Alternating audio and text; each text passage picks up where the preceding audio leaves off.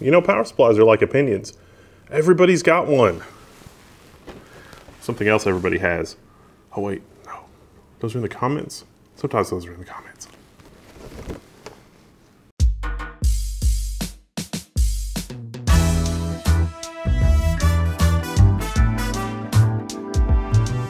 Seasonic. Seasonic makes power supplies. This is a prime titanium, 80 plus titanium. I think this is the only 80 plus titanium power supply that I've taken a look at. 80 plus titanium is an efficiency rating. So it means that it's super efficient at about 50% load, give or take. It's industry leading, or market leading, I should say, in terms of how efficient it is uh, with using power. And the more efficient a power supply is, uh, at doing power supply conversion, converting power from you know electrical outlet voltage into voltage a computer can use, the less heat it produces. Like it's, it's, it's really talking about waste heat.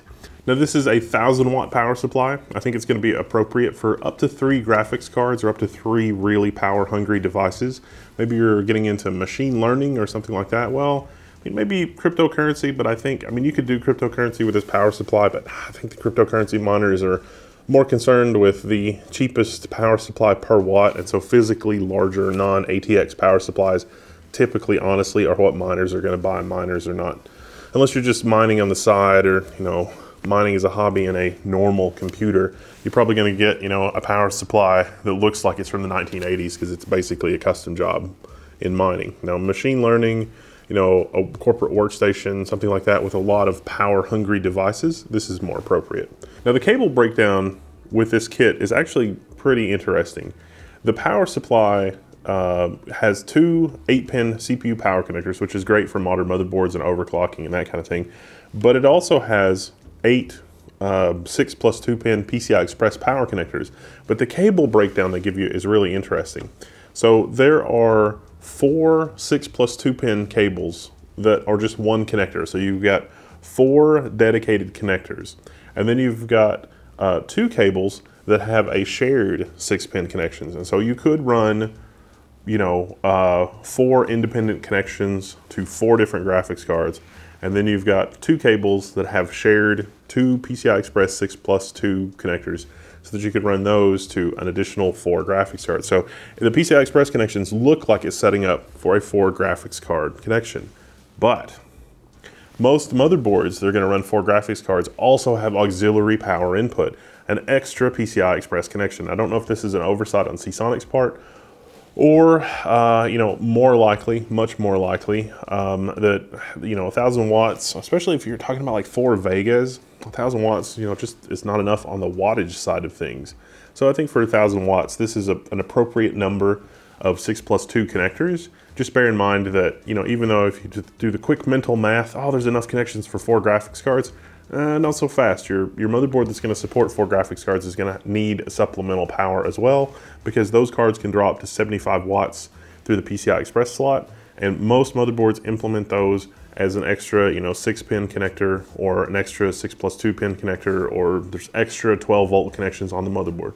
In terms of peripheral connections, uh, this power supply has got you covered. You've got several uh, varieties of uh, four pin SATA device connections, both the right angle and the straight through, which is great. Uh, it's mostly the right angle connections, so that you can't like pack drives in, but you do have one that's straight through. There's also some, some shorter SATA uh, peripheral cables so that if you just have a couple of SATA uh, devices, you don't have to run the, you know, the really, you know how you get the really ridiculous cable. It's like, I just have one SSD, but you've got this huge unwieldy trunk of cable. Yeah, they give you a shorter cable that's only got two connections. So it's nice and neat for cable management and that sort of thing. It also has Molex connections and there's also Molex to SATA so that you can break out and use, you know, Molex for fan power or whatever um, and, and, and then run your SATA devices through a Molex adapter if you don't need the 3.3 volts on your SATA connection.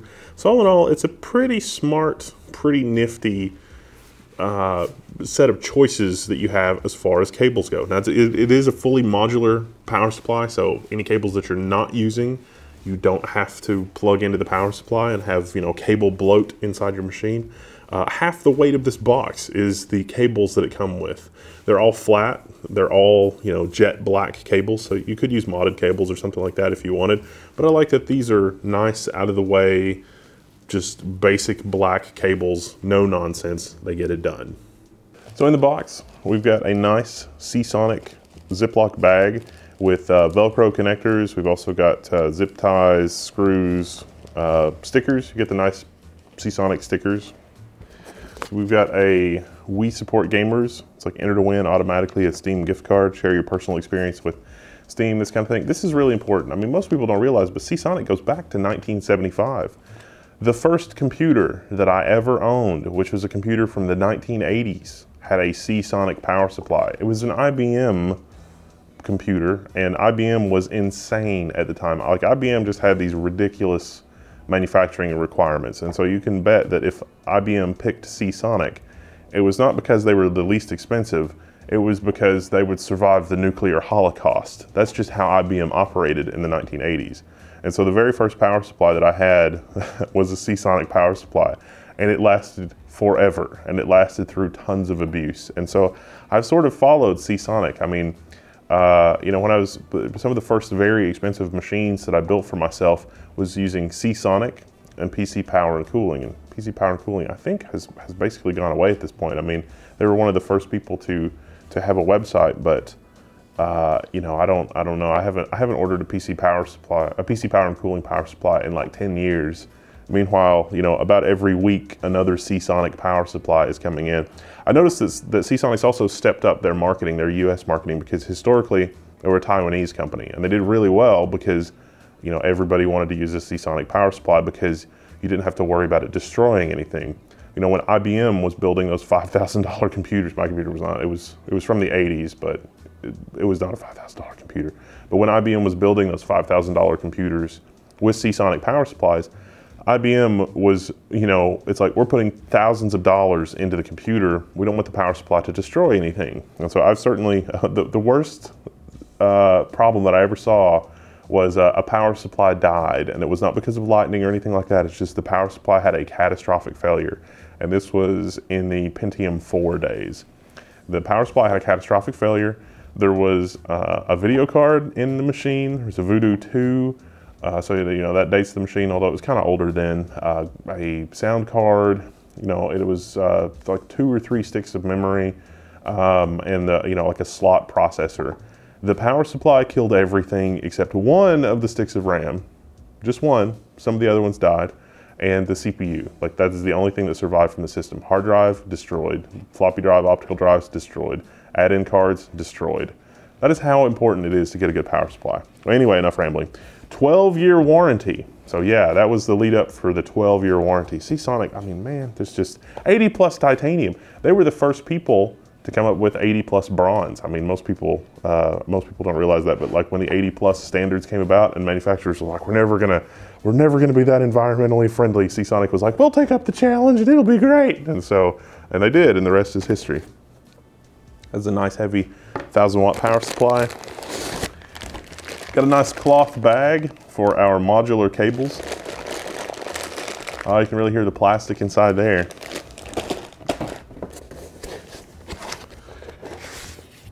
Oh, and then we've got an even nicer cloth bag for our power supply. All right. That's just, that's just nuts. Okay, this is cool. It has a diagram for the correct way to wire in your graphics card. So I mentioned that some of the PCI Express pay, uh, power cables are split. This is saying, yeah, on those split cables, uh, don't plug both ends of the split into the same graphics card. Those are meant to go to different graphics cards, just so you know.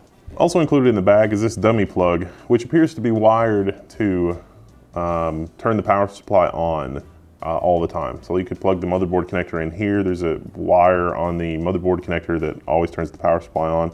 That looks to me what this jumper pin is. So when you plug the uh, power supply into this plug, the power supply would come on. I guess that might be useful for like a mining rig or something like that. So that's handy that they included that. There's something very important and very special that I want to call attention to in power supplies. And it's also something that you should look for in sleeved cables. If you're paying really close attention, you know, we've got our standard 20 plus 4 pin motherboard power connector on this on this side. And if you look very carefully, you can see that some of the wires that are going into this connector have uh, multiple, uh, some of the plugs, there are multiple wires going into each plug. And the reason for that is voltage monitoring, or monitoring the voltage delivered right here. You see, the amount of current that's flowing through this wire is going to affect the voltage that's being delivered to the motherboard. So yeah, it's 12 volts, but if there's a huge load on one of the 12 volt pins from this particular cable, it is going to um, cause a voltage drop. The voltage is going to drop because of the load on the wire. If you look at the connector on this end, you can see that there are no wires that are doubled up. This is the end that goes into the power supply. It's also why these are not reversible. So there are actually more pins on this end than there are on this end, and the reason is monitoring that voltage. And so the power supply will actually dynamically adjust based on load, based on the electroresistivity of the wire. I mean, depending on how you've got it bent and how good the connection is to the machine, there's just no way to do it in the power supply properly, at least not to my knowledge. And so uh, the reason that you have those extra wires is to um, tell the system, hey, we're only delivering 11.9 or 11.7 volts or whatever at the motherboard. We need to boost the 12 volt voltage rail inside the power supply a little bit to compensate for the loss in the in the connector or the loss in the wire or, or whatever, which is a really awesome feature. But that brings me to sleeved cables and modded cables. When you're doing modded cables with a power supply like this, you want to be sure that you've gotten uh, you know, a mod kit that has the manufacturer's blessing. It is so important that you get a mod kit that includes those extra wires because one of the wires is delivering the voltage to the connector and the other one is monitoring the voltage delivered to the connector. And so I can see that our motherboard connector is set up that way, which is great. Our PCI Express um, power connections uh, are not set up that way. So I think that the PCI Express power connections, and that's pretty normal because it's like, oh, you're on your own for you know, the load uh, delivered from GPUs. It's just not as important. It's not as critical as what's going into the motherboard at the 24 pin power cable because the 24 pin power cable for the motherboard is the most important uh, power delivery thing in the, in the system. So I also want to take a moment to really thank Seasonic because, you know, most of the systems that I've built the last little bit, they have not used a lot of two and a half inch or three and a half inch devices or devices that really use the uh, SATA or Molex power. I mean, there might be like a fan controller or something like that that uses external power, but these these connections are great. So this is directed into the power supply, and then you've got two SATA connections. This is awesome because this is a lot easier to cable manage than this, especially if you're using just one single device. So I really love that there is a relatively small number of devices that come with this. They also provide a Molex to SATA adapter, so you get you know your 5 and 12 volt Molex connector and then your output for your, your SATA connections. This is great for water pumps and stuff like that because you can use, again, the relatively modest 2 Molex connector thing into the power supply, basically be good to go. One really easy way to know if you're dealing with a good power supply is how much does it weigh? And now that the secret's out on that, we're gonna get power supplies with lead bricks in it, right?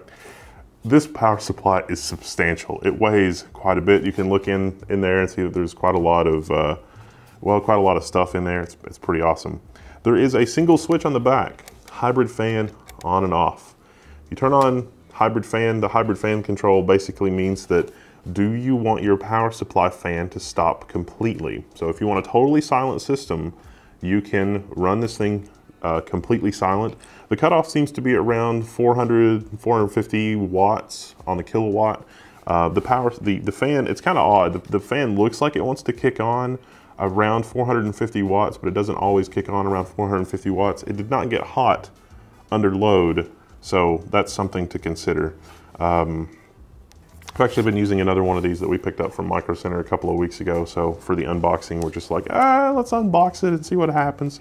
So it's a really, they've made some really interesting choices uh, with this power supply. I do like the button at the back for controlling that. I know that with some other power supplies, you can do that through USB, which is neat. It's, it's, it's nice to be able to get, you know, direct readouts and direct features of the stuff that's going on with your, with your power supply. But I do also like to see that Seasonic is, is uh, you know, sort of coming out from the OEM market. I mean, there were a lot of, of people in the world that were making power supplies, you know, and putting their sticker on it, uh, but it still basically came from Seasonic.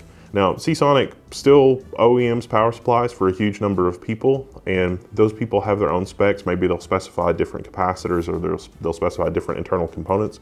But around 2005, 2006, I think, Seasonic incorporated in the US It's a wholly owned subsidiary um, from Seasonic in, in Taiwan uh, to sell power supplies directly, which has served me well over the years. So, um, yeah, I mean, it's just they reached out and they were like, "Hey, do you you know do you know anything about Seasonic?" And it's like, "Oh my gosh, Seasonic! I like a little bit of a fanboy." So take that you know take that with a little bit of a grain of salt. Now, in terms of things that they could do uh, to improve the power supply, you know the market is really crazy about RGB. I do not care about RGB. I just want it to run well.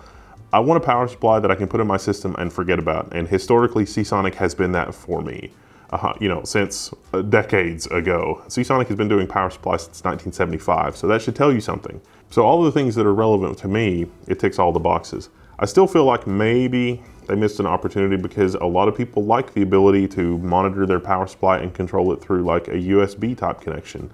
Uh, maybe there would be an option to add a connector, like a 50-50 RGB connector and controller, like actually in the power supply. Not for RGB lighting inside the system, although that would be pretty cool, but to actually use it for ambient lighting for the rest of your room. I mean, uh, the places where I've seen RGB done well and thought that actually looks pretty good has been where the RGB has is part of the lighting for the room. So maybe, you know, when you're playing a game, you don't want to turn out the lights completely because of eye strain, but you could turn off the room lights and have RGB under your desk and you know behind your monitor and things like that. Uh, SteelSeries and, and MSI showed off the RGB controller where you could, could control your room lighting based on uh, the character, like what was happening to the character in game. We looked at that at Computex. And so maybe something like that tied in with the power supply so that the power supply can supply a lot of current to those RGB devices makes more sense. I don't know. I don't know what, what kind of cost that would add to the power supply. Certainly there are people like me that would not be interested in paying extra for those features, but the market seems to be super interested in RGB. So all in all, this power supply, A+. plus. I think that Seasonic has got to be a little bit careful here because I don't think they should rest on their laurels, especially if they're looking into move into the DIY gaming market because gamers drive a lot of that and gamers are apparently very interested in RGB. RGB power supply, is it a thing? I mean, it's already kind of a thing in some places, but I feel like that Seasonic could use it for room lighting and maybe that would that would differentiate themselves. Also, I really like the button. I mean, you can control it with the button, hybrid fan on or off. Do you really need any anything more complicated than that? Maybe not, but you know, USB control might be nice too. If you pick up one of these or you have an opinion about Seasonic, let us know in the comments at Level1Techs. I'm Wendell, I'm signing out and I'll see you there.